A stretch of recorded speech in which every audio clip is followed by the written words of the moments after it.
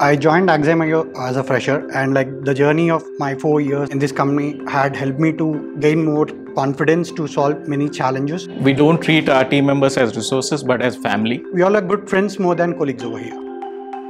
We treat every customer problem not as a challenge but as an opportunity to learn new things. We have a thriving team. Uh, you know, we go with a plan of action. We evolve and adopt uh, according to the client needs. We not only have like passionate people but also accountable people who treat the customer's problem as their own problem. I really love about my job is like I always get good opportunities to learn new technologies. Most of the employees in our organization, like 150 techies, be it on AWS or Azure or GCP, eager to learn new things and apply the learnings on the customer's problems.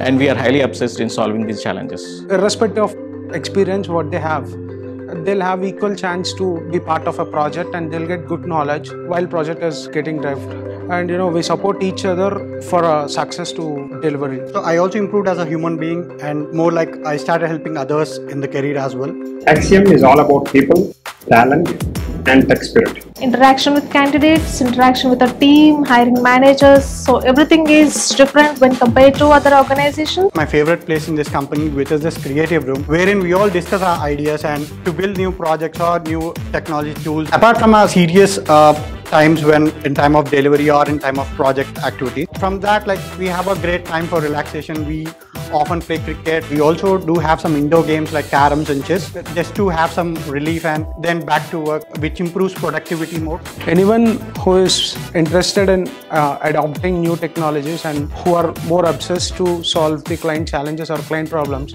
they can join us and they can deliver things. Every employee should have that unique ikigai at the end of the day. And when you go back home after your work, the key things which you have to take back home is the satisfaction that you have done something best to your customer and then done something best to yourself. That is by learning something new.